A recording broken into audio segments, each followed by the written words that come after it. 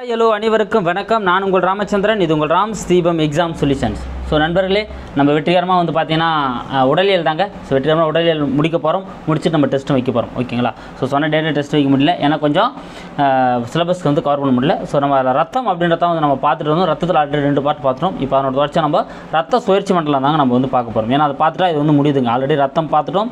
அதனோட ரத்தத்தோட வகைகள் நம்ம பார்த்துருந்தோம். ரத்தத்தோட வகைகள் நம்ம பார்த்தோம். ஸோ எல்லாமே இம்பார்ட்டன்ட் பாயிண்ட்ஸ் தான் உங்களுக்கு வந்து கொடுத்துருந்தேன். இப்போ அதனோட தொடர்ச்சி நம்ம பார்க்க போகிறது இது ரத்த சுழற்சி மண்டலம் ஓகேங்களா? ஸோ மனிதனோட இதயம் மனிதனோட இதயத்தை தான் நம்ம என்ன பண்ண போகிறோம் பார்க்க போகிறோம் ஓகேங்களா? சரிங்க. சரி. அதுக்கு முன்னால் நம்ம சேனலுக்கு யாரா புதுசாக வந்தீங்கன்னா நம்ம சேனலை சப்ஸ்கிரைப் பண்ணிங்க லைக் பண்ணுங்கள் ஷேர் பண்ணுங்கள் கூட பக்கத்தில் பெல் பட்டனையும் கிளிக் பண்ணிக்கங்க.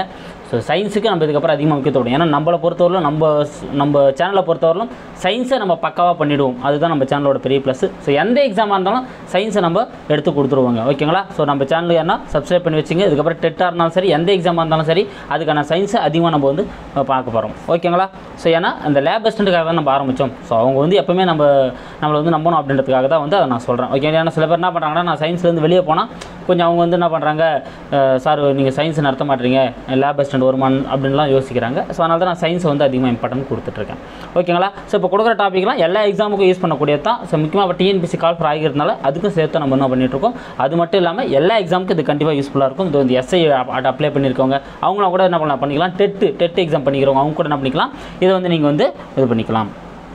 ஓகே ஸோ இதயத்தோட தோற்றங்க ஓகேங்களா? ஸோ இதயத்தை பொறுத்தவரையில் வந்து பார்த்தோன்னா இது மேற்பெருஞ்சிறை இது வந்து மகா தமனி அப்படின்னு சொல்லுவாங்க. இது நுரையீரல் தமனி இது நுரையீரல் சிறை ஓகேங்களா? இது ஈறுதழ் வாழ்வு இது மூவிதழ் வாழ்வு அப்படின்னு சொல்லப்படுது ஓகேங்களா?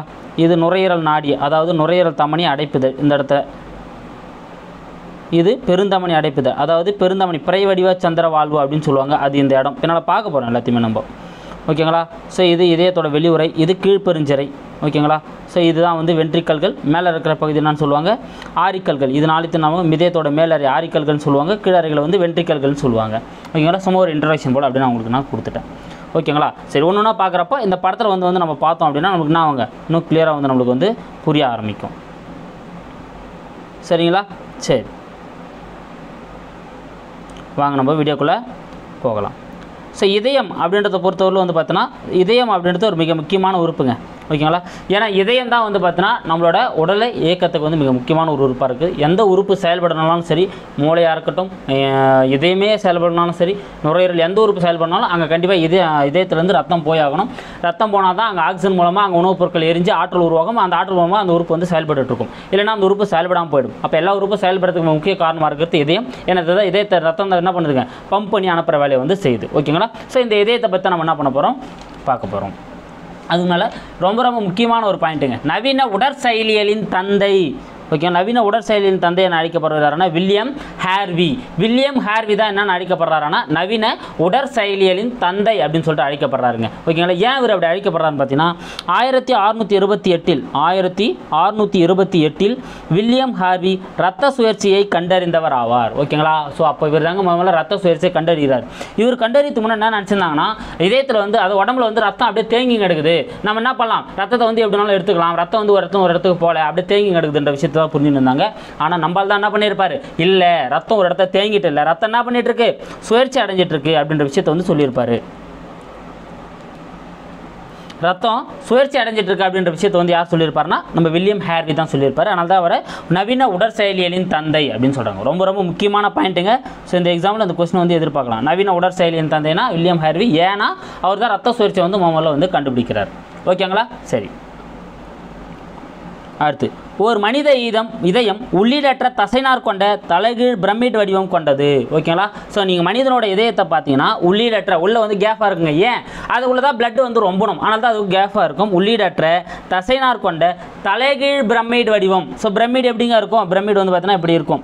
ஆனால் இதயத்தை நீங்கள் பார்த்தீங்கன்னா எப்படி இருந்தானா கீழே சின்னதாக இருக்கும் மேலே வந்து பெருசாக இருக்கும். அப்போ பிரமிடை தலைகீழாக போட்டால் போல. அப்போ தலைகீழ் பிரமிட் வடிவம் கொண்டது. ஓகேங்களா? அடுத்து இதயத்தை சுற்றி இரண்டடுக்கு படலம் பெரிகார்டியம் அதற்கு இடையில் பெரிகார்டியல் திரவம் உள்ளது. இது ஆல்ரெடி எக்ஸாம்பிள் கேட்கப்பட்ட கொஸ்டினுங்க ஸோ இதயத்தை சுற்றி வந்து பார்த்தோன்னா ஒரு ரெண்டு அடுக்கு படலம் காணப்படுது. அந்த படலத்தை என்னன்னு சொல்லுவாங்கன்னா பெரிகார்டியம் அப்படின்னு சொல்லுவாங்க. அது சு அதுக்குள்ளே இருக்கிற அந்த திரவம் தான் வந்து பார்த்தீங்கன்னா பெரிகார்டியல் திரவம் அப்படின்னு சொல்லுவாங்க. ஓகேங்களா? ஸோ எதுக்கு இந்த பெரிகார்டியல் திரவம் அப்படின்னு பார்த்தீங்கன்னா இது வந்து அந்த இதயத்தை வந்து அதிர்ச்சிகளில் வரணும் இதயத்துக்கு என்ன பாதிப்பாகிறப்போ அதை தாங்கறதா வந்து இந்த பெரிகார்டியல் திரவத்தோட முக்கியமான பணிங்க. ஓகேங்களா? ஸோ அதுக்கு தான் பயன்படுது இந்த பெரிகார்டியல் திரவம். இது ஆல்ரெடி எக்ஸாமில் கேட்டிருக்காங்க. இதயத்தை சுற்றி காணப்படும் அந்த உரை வந்து பார்த்தீங்கன்னா பெரிகார்டியம். அதுக்குள்ளே காணப்படுற அந்த த- திரவம் வந்து பெரிகார்டியல் திரவம். ஓகேங்களா? சரி அடுத்து. இதயம் சிறப்பு வகையான கார்டியாக் தசைகளால் ஆனது. ஏங்க இதயம் வந்து சிறப்பு வகையான கார்டியாக் தசைகளால் ஆனதாக இருக்கணும்? ஏன்னா இதயம் வந்து என்ன ஆகிட்டு இருக்கணும்? டுவெண்ட்டி ஃபோர் ஹவர்ஸ் என்ன ஆகிட்டே இருக்கணும்? ஒர்க் பண்ணிகிட்டே இருக்கணும். மற்ற உறுப்புகள் போல் வந்து என்ன பண்ண முடியாது? ஓய்வு எடுக்க முடியாது. அப்போ அது சிறப்பு வகை தசையால் ஆனும். சுருங்கி சுருங்கி விரிஞ்சிட்டே இருக்கணும். அதனால தான் அது சிறப்பு வகையான ஒரு கார்டியாக் அப்படின்ற தசைகளால் வந்து அது ஆனது. ஓகேங்களா? ஸோ இதயம் நான்கு அறைகளை கொண்டது. இதயம் வந்து எத்தனை அறைகளை கொண்டதுங்க? நான்கு விதமான அறைகளை கொண்டது. நான் சொன்னேன் இல்லைங்களா? ஸோ மேல்புறமாக இருக்கிற அறைகளை வந்து பார்த்தோன்னா ஆரிக்கல்கள்னு சொல்லுவாங்க. கீழ்ப்புறமாக இருக்கிற அறைகளை வந்து பார்த்தோன்னா வென்ட்ரிக்கல்கள் அப்படின்னு சொல்லுவாங்க. ஓகேங்களா ஸோ இப்படி பிரித்தோம் அப்படின்னா இதை வந்து ஆரிக்கல்கள் அப்படின்னு சொல்லுவாங்க. ஸோ இதை வந்து பார்த்தீங்கன்னா வென்ட்ரிக்கல்கள் அப்படின்னு சொல்லுவாங்க. ஸோ இது வலப்புறமாக இருக்கிறதுனால வலது ஆரிக்கல் இடது ஆரிக்கல் இடது வலது வென்ட்ரிக்கல் இடது வென்ட்ரிக்கல் சொல்லி என்ன பண்ணுவாங்க? இதை வந்து பிரித்து சொல்லுவாங்க. ஓகேங்களா அப்போது இதயம் வந்து எத்தனை அறைகளை கொண்டது? நான்கு விதமான அறைகளை கொண்டது தான் வந்து இதயம். ஓகே இப்போ இதயத்தை பற்றி ஒரு இன்ட்ரடக்ஷன் பார்த்துட்டுங்க. இதயம் வந்து பார்த்தீங்கன்னா வில்லியம் ஹேர்வி தான் உடல் செயலின் தந்தை என அழைக்கப்படுறாரு. இது வந்து அவர் தான் ரத்த சுழற்சியை கண்டறிறாரு. இதயம் வந்து பார்த்தீங்கன்னா ஒரு உள்ளீடற்ற தசினார் கொண்ட பிரமிட் வடிவம் கொண்டது. இதயத்தை சுற்றி ரெண்டு அடுக்கு படலம் காணப்படுது பெரிகார்டியம் அதுக்குள்ளே இருக்கிறது தான் பெரிகார்டியல் திரவம். ஓகேங்களா? ஸோ இதயம் சிறப்பு வகையான கார்டியாக் தசையால் ஆனது. ஸ்பெஷலைஸ்டு uh, ஒரு மசில் தசையால் வந்து இது ஆனது. ஸோ நன்கு நான்கு அறைகளை வந்து இது கொண்டதுங்க. வலது வலது அரிக்கல் இடது அரிக்கல் வலது வென்ட்ரிக்கல் இடது வென்ட்ரிக்கல் சொல்லிட்டு நான்கு அறைகளை வந்து இது கொண்டது. ஓகேங்களா? ஸோ அதே போல் வந்து பார்த்தா நூறு பையன் ஞாபகம் வச்சுங்க. அந்த இதயத்தோட சுவர் வந்து பார்த்தீங்கன்னா ஒரு மூன்று பகுதியில் மூன்று அடுக்குகள் ஆனதுங்க. ஓகேங்களா? எபிகார்டியம் அப்படின்னு வெளிப்பகுதி மயோகார்டியம் அப்படின்றது மையப்பகுதி என்டோகார்டியம் அப்படின்றது உட்பகுதி. ஓகேங்களா? இதயத்தோட அந்த வெளிப்புறமாக இருக்கிற அந்த இதயத்தோட சுவர். ஓகேங்களா? அதை மறுபடியும் மூணாக பிரிக்கிறாங்க. சரி. அடுத்து நம்ம பார்க்க போகிறது ஆரிக்கல்கள். ஓகேங்களா? ஸோ இதயத்தோட அந்த மேற்பகுதியில் இருக்கிறது தான் ஆரிக்கல். நம்ம என்ன பார்த்தோம் முதல்ல? இதயம் வந்து நான்கு அறைகளை கொண்டது. அதில் மேல் பகுதியில் இருக்கிறது ஆரிக்கல்கள் கீழ்ப்பகுதியில் இருக்கிறது வெண்டுக்கல்கள் பார்த்தோம் இல்லைங்களா? அதில் மேற்பகுதியில் இருக்கிற அந்த ஆரிக்கல்கள் தாங்க நம்ம பார்க்க போகிறோம் மெல்லிய தசையாலான மேல் அறைகள் ஆரிக்கல்கள் ஆகும். ஓகேங்களா ஸோ இதயத்தோட மேல் பகுதியில் இருக்கக்கூடிய அந்த அறைகள் தான் நான் சொல்கிறாங்க ஆரிக்கல்கள். நான் சொல்கிறேன் இதுதான் என்னது? ஆரிக்கல்கள். ஓகேங்களா இது மெல்லிய தசையால் ஆனது ஏன் இது மெலிசாக இருக்கணும் அப்படின்னு வந்து பார்த்தீங்கன்னா ஏன்னா இது என்ன பண்ண போதுங்க வந்து சேர்ந்தோடனே இது மறுபடியும் க்ளோஸ் ஆகி ரத்தத்தை என்ன பண்ணிடணும்? கீழே அனுப்பணும் இங்கேருந்து தான் இது சுருங்கி பம்ப் பண்ணி என்ன பண்ண போது வெளியே அனுப்ப போகுது. அப்போ கிழக்கிற அறைகள் தான் தடிமனாக இருக்கணும். மேலக்கிற இருக்கிற அறைகள் தடிமனாக இருக்கணும்னு அவசியமாக இல்லை. அதனால் என்னவாக வருது இருக்குது மெலிசா வந்து அது இருக்குது நான்கு நுரையீரல் சிறைகள் மூலம் ஆக்சிஜன் மிகுந்த ரத்தம் இடது ஆரிக்கல் பெறுகின்றது. ஓகேங்களா? ஸோ நான்கு நுரையீரல் சிறை இருக்குதுங்க. நான்கு நுரையீரல் சிறை இங்கே இருக்கும் பாருங்கள் ஸோ இதுதான் நுரையீரல் சிறை. ஸோ இங்கே இருக்கக்கூடிய நான்கு நுரையீரல் சிறைகள் மூலமாக தான் ஆக்சிஜன் மிகுந்த ரத்தத்தை இடது ஆரிக்கல் பெறுகிறது. ஓகேங்களா? ஸோ அப்போ ஆக்சிஜன் மிகுந்த ரத்தம். அப்படின்னா என்னது? நுரையீரலேருந்து வர ரத்தம். ஏன்னா சிறைகள் தான் இதயத்துக்கு ரத்தத்தை எடுத்துன்னு வருது. பின்னால் பார்க்க போகிறோம் ஸோ அது போய் நுரையீரல் சிறைகள் என்ன பண்ணுறாங்கன்னா அந்த ஆக்சிஜன் மிகுந்த ரத்தத்தை எடுத்து வந்து எங்கே சேர்க்குதுன்னா இந்த இடது ஆரிக்கலில் சேர்க்குது. அது இடது ஆரிக்கல்லேருந்து அப்புறம் எங்கே வரும்? கீழே. இடது வென்ட்ரிக்கலுக்கு வரும். வென்ட்ரிக்கல்ல இருந்து அப்புறம் மகாத்தமனி மூலமாக என்ன பண்ணிட்டான்னா உடல் முழுவதும் வந்து போகும். இதுதான் வந்து அந்த பிளட் பிளட் சர்க்குலேஷன் வந்து பண்ணுது. ஓகேங்களா? அடுத்து. சுத்திகரிக்கப்படாத ரத்தத்தை மேற்பெருஞ்சிறை மற்றும் கீழ்ப்பெருஞ்சிறை மூலம் வலது ஆரிக்கல் பெறுகிறது. ஓகேங்களா என்னதுங்க? ஸோ வலது ஆரிக்கல் தாங்க பெறுகிறது. எது? மேற்பெருஞ்சிரை மற்றும் கீழ்ப்பெருஞ்சிரை ஸோ இங்கே பார்த்தீங்கன்னா உங்களுக்கு பாருங்கள் கீழ்ப்பெரு நாளம் இருக்குது அதான் கீழ்ப்பெருஞ்சிரை இங்கே மேலே பார்த்தீங்கன்னா மேற்பெருஞ்சரைன்னு இருக்கும். அது பாருங்கள் மேற்பெரு நாளம் இது மேற்பெருஞ்சிரை இது ரெண்டு மூலமாக வந்து பார்த்தீங்கன்னா இதை அதை உடம்புக்கு போயிட்டு உடம்புலருந்து அந்த ஆக்சிஜனை பயன்படுத்திட்டு ஆக்சிஜன் இல்லாத ரத்தம் என்ன ஆகுனா இந்த இடத்த வருங்க. ஓகேங்களா ஸோ இந்த இடத்த வரும். இந்த இடத்த வந்து வலது ஆரிக்கல்ல வந்து என்ன பண்ணும்? மேற்பெருஞ்சிரை கீழ்ப்பெருஞ்சிரை முறை கொட்டும். அது அங்கேருந்து என்ன பண்ணும்? வலது வென்ட்ரிக்கலுக்கு இறங்கி அது அங்கேருந்து என்ன பண்ணும்? நுரையீரல் தமனி மூலமாக எங்கே போகும்னா நுரையீரலுக்கு போய் ஆக்சிஜனை வாங்கிக்கின்னு மறுபடியும் அது நுரையீரல் செல் மூலமாக இடது ஆரிக்கல்ல கொட்டும். அது அங்கேருந்து இடது வென்ட்ரிக்கலில் வாங்கி இங்கேருந்து மகாத்தமனி மூலமாக பாடிக்கு போயிட்டு மறுபடியும் அங்கே ஆக்சிஜனை பயன்படுத்திட்டு மறுபடியும் ஆக்சிஜன் இல்லாத ரத்தம்னா அவங்க மறுபடியும் வந்து வலது ஆரிக்கல்ல கொட்டும். வலது ஆரிக்கல் மனித வலது வென்ட்ரிக்கல் வரும். அங்கேருந்து நுரையீரலுக்கு போய் மறுபடியும் ஆக்சிஜன் வாங்கின்னு வரும். இது அப்படியே ஒரு சொற்களாக என்ன ஆகிட்டே இருக்க போதுங்க நடந்துகிட்டே இருக்க போகுது. ஓகேங்களா? இப்போ ஆரிக்கல்கள் புரிஞ்சிச்சிங்களா? என்ன பண்ணுது? ரத்தத்தனை இப்போ நம்ம பார்க்க போகிறது அடுத்து வென்ட்ரிக்கல்கள். தடித்த கீழறைகள் வென்ட்ரிக்கல்கள் எனப்படும். நான் சொன்னேன் இல்லையா? ஏன்னா கீழக்கிற அந்த வென்ட்ரிக்கல்கள் என்ன பண்ண போகுது? பிளட்டை பம்ப் பண்ணி மேலே அனுப்புதுங்க நல்லா அழுத்தி பம்ப் பண்ணி மேலே அனுப்பணும். ஆனால் தான் அது என்ன இருக்குது? தடித்த அறைகளாக காணப்படுது. அப்போ தடித்த அந்த கீழறைகள் தான் என்னது?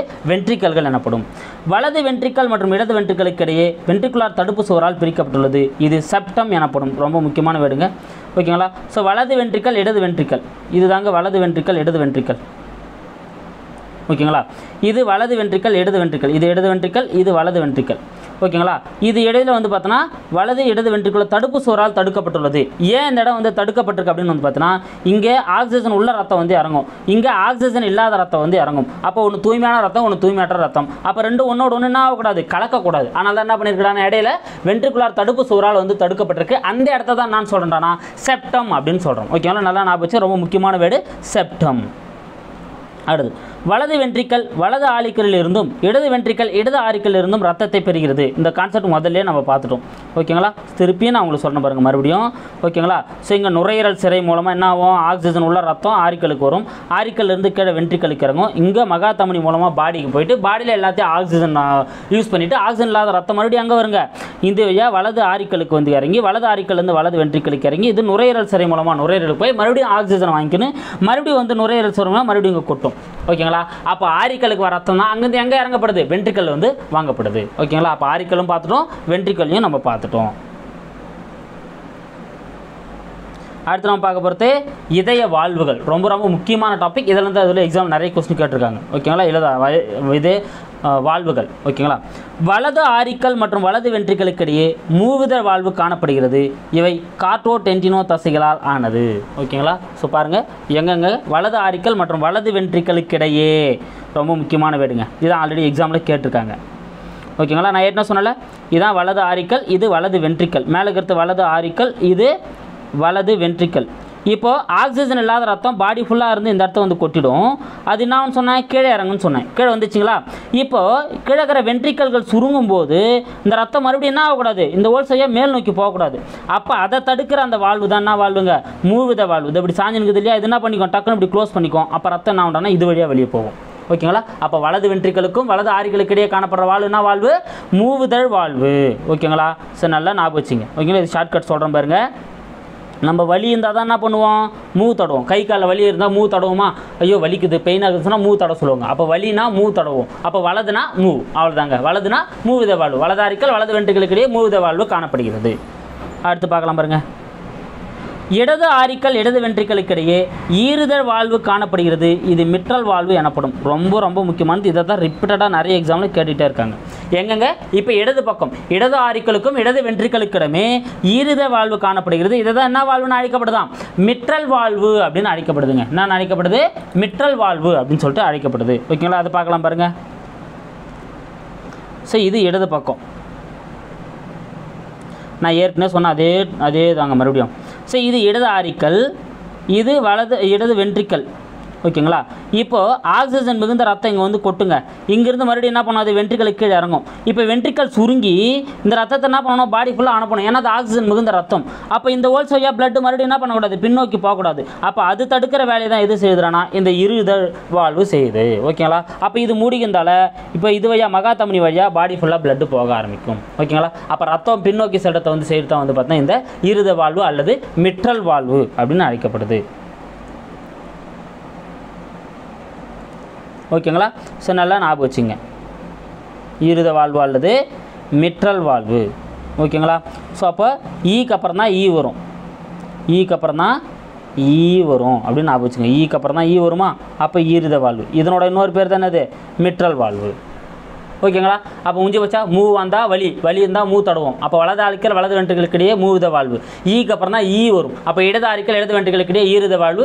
இந்த ஈரித வாழ்வு தான் என்ன பண்ணுறாங்க மிட்ரல் வாழ்வு அப்படின்னு சொல்லிட்டு என்ன பண்ணுறாங்க அழைக்கிறாங்க. ஓகேங்களா? அப்போ நீங்கள் என்ன பண்ணுங்க? இதுக்கு இன்னொரு குழுவேட் சொல்கிறேன் பாருங்கள் ஈயை ஈயும் மீட் பண்ணுதுன்னு ஞாபகம் வச்சுங்க. ஈயும் ஈயும் மீட் பண்ணுது. அப்போ இடது ஆரிக்கல் இடது வென்ட்ரிகளுக்கு இடையே காணப்படுத்த ஈரித வாழ்வு மீட் பண்ணுதுன்னு சொன்னால் அதனோட இன்னொரு பேர் தான் மிட்ரல் வாழ்வு. அப்போ கிளியருங்களா ஏன்னா இதில் இடத்துல இருந்தால் நிறைய கொஸ்டின் வந்து கேட்குறாங்க ஓகே. அடுத்த ஆப்ஷன் பாருங்கள் வலது வென்ட்ரிக்கல் நுரையீரல் தமனிக்கும் இடையில் பிரச்சந்திர வாழ்வு காணப்படுகிறது. ஓகேங்களா? பாருங்கள் வலது வென்ட்ரிக்கல் மற்றும் நுரையீரல் தமனி. இங்கே பாருங்கள் எதுங்க இதில் வலது வென்ட்ரிக்கல் இது தாங்க வலது வென்ட்ரிக்கல் நான் ஏற்கனவே சொன்னல இது வந்து வலது வென்ட்ரிக்கல். இந்த இடத்த வந்து ரத்தம் வந்து கொட்டிடுச்சு மேலே இந்த ரத்தம். இது பின்னோக்கி போகாமல் இங்கே மூவித வாழ்வு அடைச்சிருங்க. மூவித வாழ்வு அடைச்சதுக்கப்புறம் இந்த ஹோல்ஸில் என்ன ஆகும்? மேலே போகும் ரத்தம். ஏன்னா இங்கே இது ஆக்சிஜன் இல்லாத ரத்தம். ஆக்சிஜனை வாங்குறதுக்காக நுரையீரலுக்கு போய் ஆகணும். அதனால தான் நுரையீரல் தமனி அந்த ரத்தத்தை வந்து அங்கே எடுத்துன்னு போகுது. அப்படி போகிறப்போ இங்கே பாருங்கள் போன ரத்தம் மறுபடியும் என்ன பண்ணக்கூடாது? இது விரிவடைகிறப்ப கீழ் நோக்கி வரக்கூடாது. அதை தடுக்கிறதுக்காக இது இருக்குது பாருங்கள் ரெண்டு வாழ்வு இதுதான் என்ன வாழ்வு பிறைச்சந்திர வாழ்வு அப்படின்னு சொல்லுவாங்க. அரைச்சந்திர வாழ்வு அல்லது பிறைச்சந்திர வாழ்வுன்னு சொல்லுவாங்க. ஓகேங்களா? அப்போ வென்ட்ரிக்கலுக்கும் நுரையீரல் இடையே காணப்படுற வாழ்வு தான் வந்து பார்த்தோன்னா பிறைச்சந்திர வாழ்வு. அடுத்து இங்கே பாருங்கள் அரைச்சந்திர வாழ்வு பாருங்கள் அடுத்து. இடது வென்ட்ரிக்கல் மற்றும் பெருந்தமணிக்கிடையே அரைச்சந்திர வாழ்வு காணப்படுகிறது. பிறைச்சந்திர வாழ்வு அரைச்சந்திர வாழ்வு ரெண்டும் ஒன்று தாங்க அது எந்த இதுவும் இல்லை. நான் வேடுக்காக அப்படி வச்சிருக்கேன். ஆப்ஷனில் எப்படி வேணாலும் வைப்பாங்க அதுக்காக. இதே கான்செப்ட் தாங்க இங்கேயும். இப்போ இது வந்து பார்த்தீங்கன்னா ஆக்சிஜன் மிகுந்த ரத்தத்தை இடது வென்ட்ரிக்கல் வாங்கிடுதுங்க. இப்போ இங்கே ஈரத வாழ்வு இதை அடைச்சிட்டோன்னே ரத்தம் இது வழியாக போக ஆரம்பிக்கும். போன ரத்தம் திருப்பி பின்வராமல் தடுக்கத்தான் இதனோட வேலை? இந்த அரைச்சந்திர அல்லது பிறைச்சந்திர வாழ்வுகளோட வேலை. ஓகேங்களா? அப்போ இடது வென்ட்ரிக்கல் மகாத்தமணி. ஏன்னா மகாத்தமணி தான் உடல் முழுது எடுத்துன்னு போகுது. இது ஆக்சிஜன் மிகுந்த ரத்தம் உடல் முழுது எடுத்துன்னு போகணும். வலது வென்ட்ரிக்கல் ஆக்சிஜன் இல்லாத ரத்தம் நுரையீரல் ரத்தம் போனோம் ஆனால் அது நுரையீரல் தமணி ஓகேங்களா? அப்போ வென்ட்ரிக்கல் வென்ட்ரிக்கலுக்கும் தமணிகளுக்கும் தமணிகளுக்கு இடையினாலே நீங்கள் என்ன வாழ்வு தான் ஞாபகம் வச்சுக்கணும்? அரைச்சந்திர வாழ்வு அல்லது பிறைச்சந்திர வாழ்வு தான் ஞாபகம் வச்சுக்கணும். வலது ஆரிக்கல் வலது வென்ட்ரிக்கல் இடது ஆரிக்கல் இடது வென்ட்ரிக்கல்ன்றப்ப தான் வந்து நான் சொன்ன ஷார்ட்கட் நீங்கள் யூஸ் பண்ணிக்கணும். ஓகேங்களா? ஸோ இது கிளியருங்களா ஸோ இது கிளியராக ஞாபகம் வச்சு ஏன்னா இந்த இடத்துல தான் நிறைய கொஸ்டின் ரைஸ் பண்ணியிருக்காங்க. ஓகே அடுத்து பாருங்கள் இது மட்டும் இல்லாமல் இன்னும் ஒரு சில வாழ்வுகள்லாம் காணப்படுது. ஹெவர்சியன் வாழ்வு மேற்பெருஞ்சிறையின் திறப்பில். ஓகேங்களா? ஸோ மேற்பெருஞ்சிறை. மேல் பகுதியில் காணப்படுறதாங்க மேற்பெருஞ்சிறை. ஓகேங்களா? எங்கே இருக்குது இங்கே இருக்குது பாருங்கள் இதாங்க வந்து மேற்பெருஞ்சிறை. ஸோ இந்த மேற்பெருஞ்சிறையோட இதில் காணப்படுறதா வந்து பார்த்தீங்கன்னா என்னடானா அந்த யுவர்சியன் எவர்சியன் வாழ்வு எங்கே காணப்படுது? மேற்பெருஞ்சிறையில் வந்து காணப்படுது. ஓகேங்களா? ஹே மேலே அப்படின்னு ஞாபகம் வச்சுங்க. எவர்சியன்னா மேற்பெருஞ்சிறையில் காணப்படக்கூடிய அந்த வாழ்வு. ஓகேங்களா? அடுத்து. யூஸ்டேஷியன் வாழ்வு. யூஸ்டேஷியன் வாழ்வுனா கீழ்ப்பெருஞ்சிறை.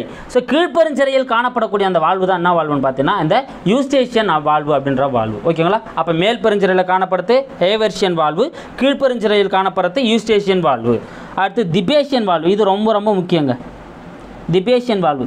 கரோனரி சைனஸில் திறக்கும் இடத்தில். ஸோ கரோனரி சைனஸ் அப்படின்னா என்னென்னு பார்த்தீங்கன்னா இப்போ இதயம் செயல்படணும்னாலும் இதயத்தில் இருக்கிற தசைகளுக்கு ரத்தம் போனங்க அதுக்கு ரத்தத்தை எடுத்துன்னு போகிறது தான் கரோனரி தமனி. அங்கே ஆக்சிஜனை பயன்படுத்தினதுக்கப்புறம் அங்கே ஆக்சிஜன் இல்லாத ரத்தத்தை மறுபடியும் இத்த இதயத்துக்கு எடுத்துன்னு வரது தான் கரோனரி சைனஸோட வேல்வை அப்போ அந்த சைனஸில் இருக்கக்கூடிய அந்த வாழ்வு தான் திபேசியன் வாழ்வு. இது மூணுமே ரொம்ப ரொம்ப முக்கியம். நல்லா ஞாபகம் வச்சுங்க. ஏன்னா இது முன்னே அந்த வாழ்வு பற்றி கேட்டாங்க. மூவித இருபது வாழ்வு பற்றி இதெல்லாம் கொஸ்டின் கேட்டாங்க.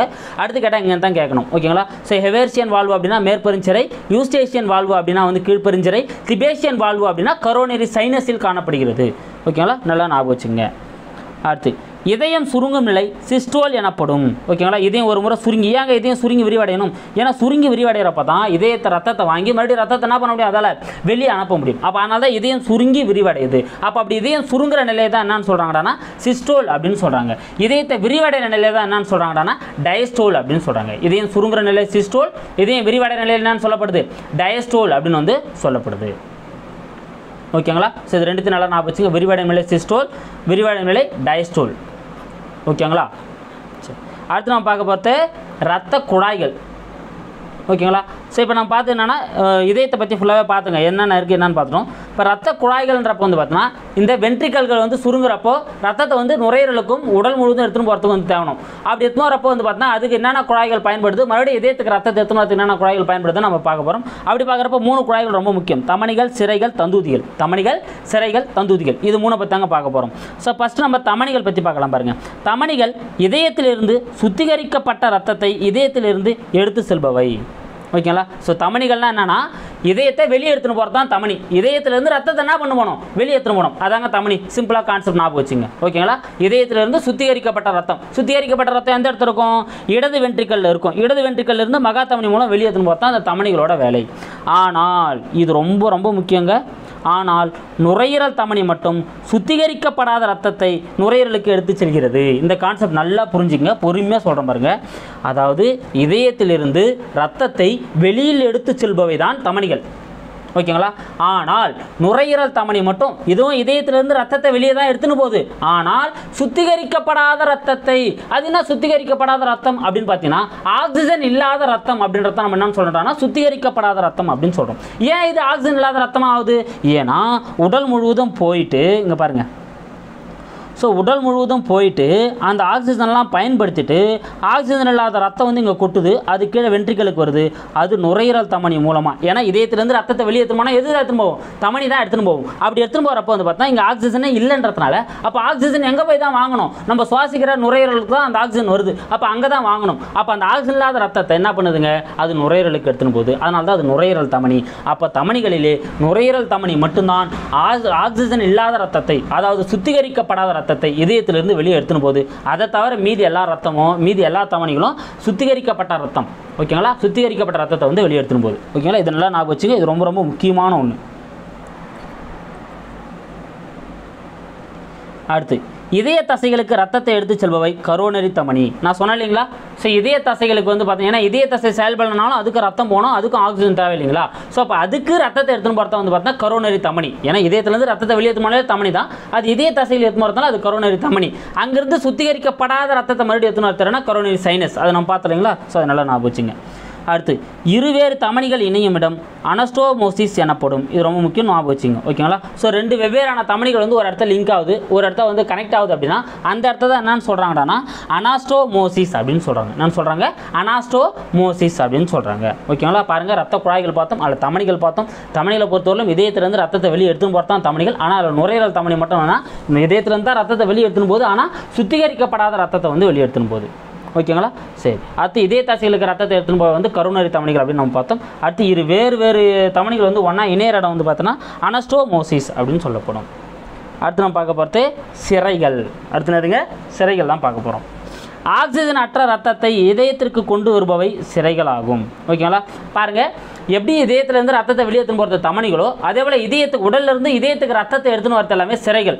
ஓகேங்களா? அப்போ எந்த ரத்தத்தை எடுத்துன்னு வருண்டானா ஆக்சிஜன் இல்லாத ரத்தம் அதாவது சுத்திகரிக்கப்படாத ரத்தத்தை தான் வந்து சிறைகள் வந்து உடலுக்கு எடுத்துன்னு வரும். நல்லா ஞாபகம் வச்சுங்க ஜெயிலில் போட்டாங்க சிறையில் போட்டாங்கன்னு சொல்லுவாங்களா அப்போ சிறை என்னென்னங்க உள்ள தள் ரத்தம். அப்போ ரத்தத்தை உள்ளே எடுத்துன்னு வந்து சேர்க்கறதான் எதனோட வேலை? இந்த சிறைகளோட வேலை. ஓகேங்களா? ஆனால் இதில் நுரையீரல் சிறை மட்டும் ஆக்சிஜன் உள்ள ரத்தத்தை எடுத்து வருகின்றன ரொம்ப முக்கியமான பாயிண்ட்டுங்க. ஓகேங்களா? ஸோ ஏன்னா அதில் நுரையீரல் சிறை மட்டும் ஆக்சிஜன் உள்ள ரத்தத்தை எடுத்துன்னு வருது அப்படின்னா இப்போ அங்கே கான்செப்ட் புரிஞ்சிடும் பாருங்க. இங்கே வாங்க முதல்ல பார்த்தோமா? இப்போ இந்த வலது வென்ட்ரிக்கில் இருந்து நுரையீரல் தமனி மூலமாக நுரையீரலுக்கு போயிட்டு அங்கே ஆக்சிஜனை வாங்கிக்கின்னு இங்கே வருது பாருங்க நுரையீரல் சிறை மூலமாக இடது ஆரிக்களுக்கு வந்து இடது வென்ட்ரிகளுக்கு இறங்கி அப்புறம் உடல் முழுவதுமாக போகுது. அப்போ இந்த நுரையீரலில் இருந்து வர இந்த சிறைகளை தவிர மற்ற சிறைகள் எல்லாமே கீழ்ப்பெருஞ்சிறை மேற்பெருஞ்சிறை எல்லாமே என்ன பண்ணுட்டானா கரோனரி சைனஸ் எல்லாமே வலது ஆரிக்கல்ல வந்து அந்த ஆக்சிஜன் இல்லாத ரத்தத்தை கொட்டிடும். ஆனால் அந்த நுரையீரல் திரை மட்டும் வந்து எங்கே கொட்டுதுறனா இடது ஆரிக்கல்ல வந்து கொட்டுதுங்க. என்ன ரத்தத்தை? ஆக்சிஜன் உள்ள ரத்தத்தை.